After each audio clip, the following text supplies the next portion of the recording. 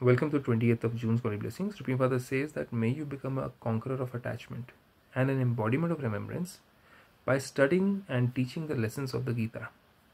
So, what does Bhagavad Gita say? God explains over here the first lesson of the knowledge of the Gita is become a bodiless soul. Consider yourself to be a soul and not a physical body, so that you don't have any remembrance of the physical body, you don't consider it to be yours, and all the things connected to it, whether it's your post, position, certifications, qualifications money, wealth, properties, possessions, you don't attach yourself to them and you become lighter.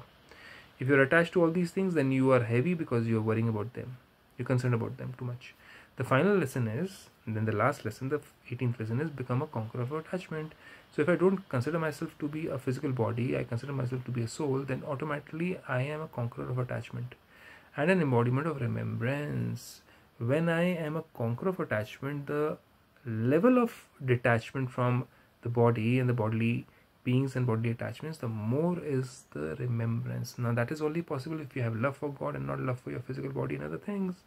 The first lesson is the method.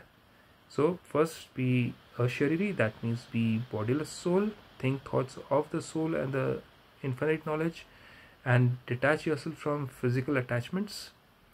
So, first is the first lesson is the method and the final lesson is the result of the method. So when you use the method of i'm a bodiless soul then automatically your attachment to your body and bodily things will keep on reducing. So automatically your remembrance of god will keep on increasing. So first of all study these lessons yourself at every moment and then teach them to others. First i have to change myself. I have to first practice this. Only then can i tell others. Perform such elevated actions that on seeing you perform elevated actions all souls will perform elevated actions. That means they'll copy us and be able to make their line of fortune elevated.